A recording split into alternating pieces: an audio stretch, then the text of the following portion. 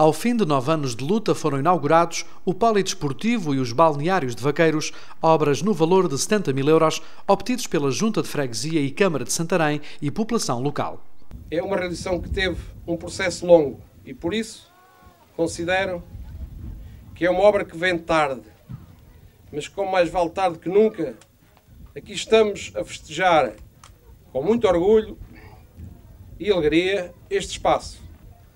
Estou certo que contribuirá no futuro para o bem-estar e a qualidade de vida da nossa população, mas também para a promoção e desenvolvimento do desporto na freguesia, no Conselho. Para que todos saibam, esta obra tem um historial de nove anos. O processo teve início no ano 2000.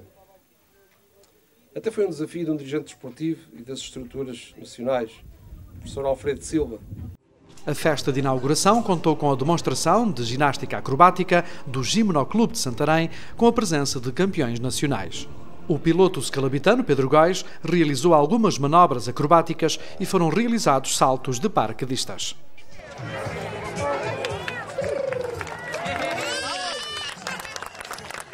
As crianças de vaqueiros participaram em jogos de mobilidade. O presidente da Junta de Freguesia espera agora que o espaço desportivo seja dinamizado.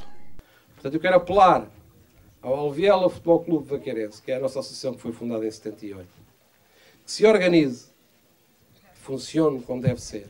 Quero apelar à Scalab Sport, que é uma empresa municipal, que faça protocolos connosco.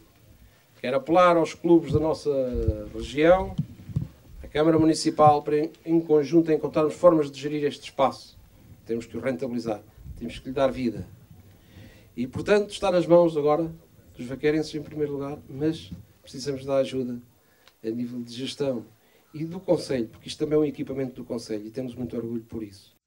O presidente da Câmara de Santarém, Moita Flores, prestou contas dos desafios lançados e revelou que o atual executivo investiu em vaqueiros e retirou a freguesia do esquecimento. Como exemplo, a luta contra a poluição do Alviela e adiantou que as obras em Alcanena já começaram. Mas, sobretudo, nós devemos aqui à população de vaqueiros, porque foram os grandes protagonistas desta luta, o chegar ao fim do pesadelo que é a poluição do alviel. Chegámos ao fim desse pesadelo. Os protocolos celebrados com a Câmara de Alcanena não são uma invenção. Estão em obra. E só aqueles que gostam de dizer mal de tudo e de todos é que não percebem quando as obras começam é para serem feitas. E devo-vos informar que a Câmara Municipal de Santarém assinou a semana passada o protocolo com o Ministério do Ambiente para continuar a requalificação da bacia hidrológica do Albiela, a seguir, ou melhor, ao mesmo tempo que começaram as obras em Alcanede.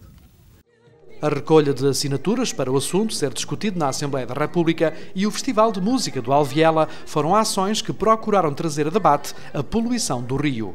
O autarca afirmou que o festival, entretanto interrompido, vai regressar, agora com outra filosofia, não de protesto, mas de formação. É bom que percebam que nós iremos voltar ao Festival do Alviela. Mas iremos voltar ao Festival do Alviela